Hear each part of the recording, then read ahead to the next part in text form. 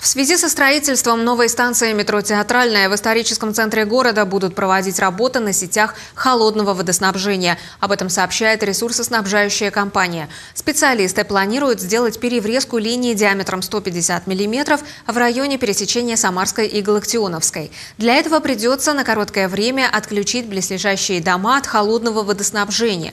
Чтобы минимизировать неудобства, работы будут проводить в ночное время.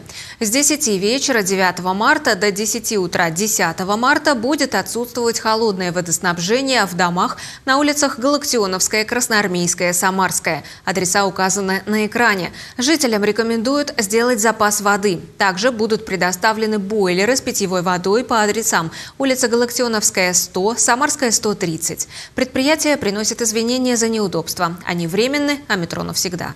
Если наконец-таки заработает метро, это, конечно, сократит время, даст больше возможностей добраться и детям в театр оперы и балета, и в театр драмы, это на набережную. Ну, это самые, наверное, культовые э, места, до которых хотелось бы всегда э, вовремя приехать, уехать. И, конечно, метро – это тот самый долгожданный, о чем можно было только мечтать.